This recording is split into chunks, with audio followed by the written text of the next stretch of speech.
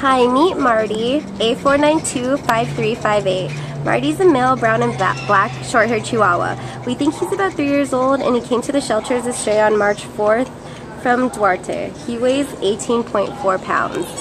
This little guy, as you can see, is kind of timid and scared in this crazy shelter environment. He's not doing so well.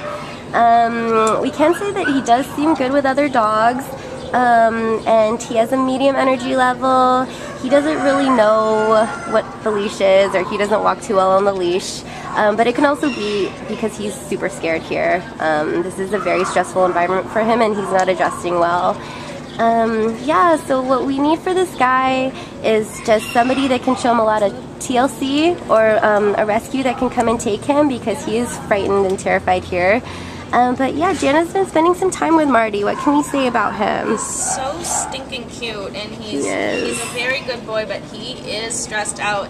Like you said, between the shelter and I think this this uh, leash that he's not loving, he's just really in a high state of anxiety. But even so, you can tell he he's really he is responding to touch. He's not, you know, trying to get me or anything. He just doesn't know where the heck he is and he wants out. But he's going to be, somebody puts just a little time and love, he's going to be, it's going to be so rewarding because he's going to be your shadow. He's going to be really loyal and sweet, so.